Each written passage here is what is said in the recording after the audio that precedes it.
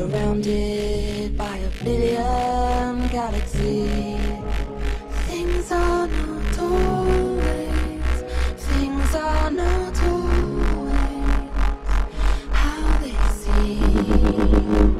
Will you be?